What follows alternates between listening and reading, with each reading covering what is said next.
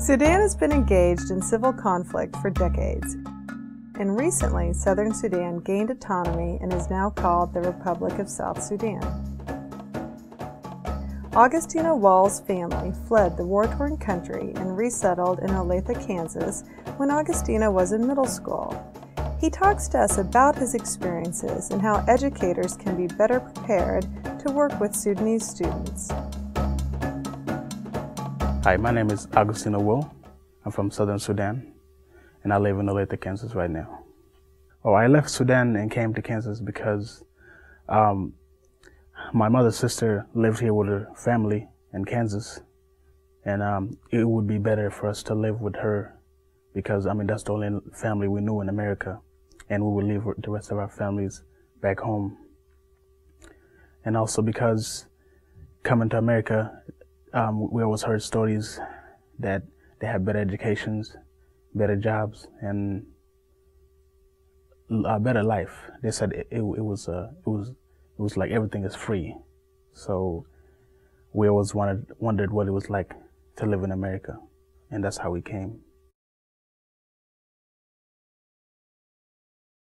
Oh, there was a civil war um, in the in the South, but I was born in the North, so I've always I've always heard stories about how the rebels came and attacked the villagers and attacked everybody and burned the house down, and how people used to just run away and just, I don't know, just run away from them. Coming to Kansas is the most difficult thing in, in school was my skin color. My first day, I remember in fifth grade, I came and the teacher introduced me and, and told everybody where I was from and everybody looked at me like, wow, he's dark. Well, that's what I was wondering. So and I didn't feel comfortable because they were all light skinned, and that was the first time I've seen so many, well, light skinned people than me. So I, I, I, was wondering, like, wow, what am I doing here? So th- that was very hard. Talking to everybody, yeah, I would not know what they were saying. And some of them would tease me. They would tell me to say this word and say it, it's a good thing, and I would say it, and others would giggle and that right there tells me that I just said a bad word or something very, yeah, something bad.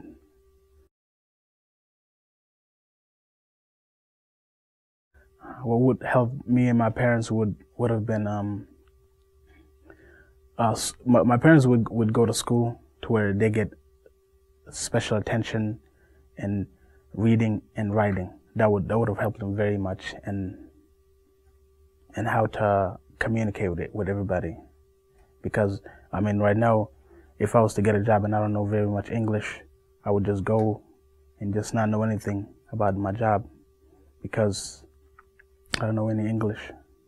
My parents they they were lucky because there were other Sudanese at the jobs they worked at, so that made it a little bit easier because if they were wondering how to um, do their job, they would ask that person about it and then they would translate it to them.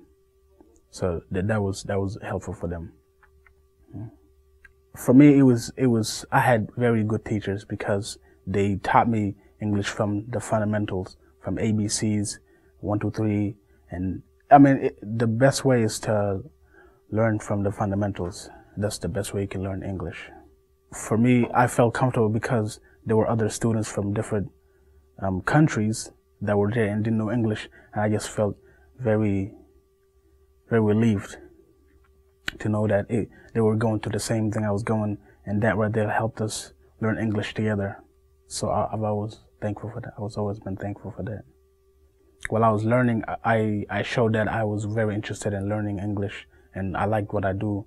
So they would give me, they would tell me the correct way of doing things. If I was to say a sentence and I said it incorrectly, they would say, no, you say it like this that right there always made me comfortable and made it easier to learn because I knew every time I'm saying something and I said it, I didn't say it correctly, that hey, she said it this way, so it should be, it should be, it should have been said this way.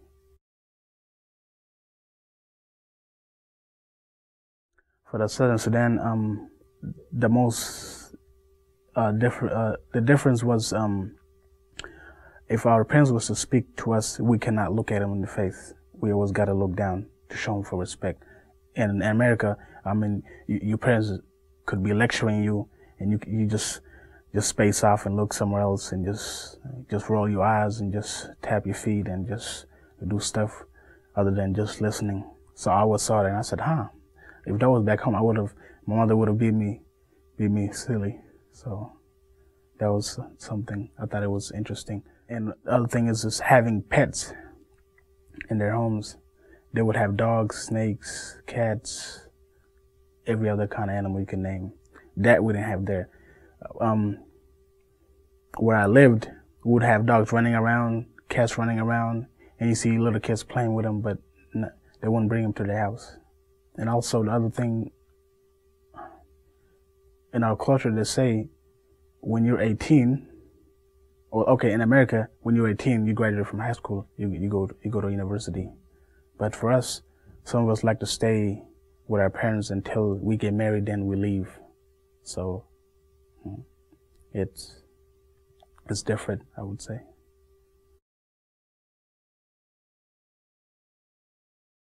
Uh, Dinka is my mother tongue language, but in Sudan, we were taught to read and write in Arabic.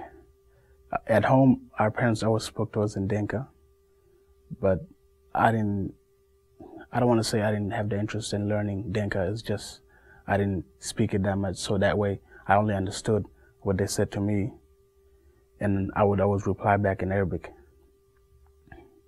Where in America, um,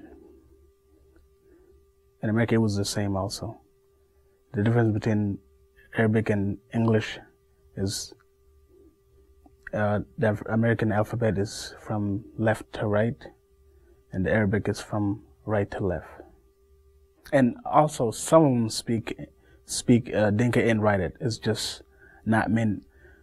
I mean, every Sunnese I know, like somebody older than me, they, they would speak and write, but somebody my age or younger, they, they don't speak. I mean, they don't write in Dinka. They could speak it, but they don't write because they didn't get a chance to learn it here.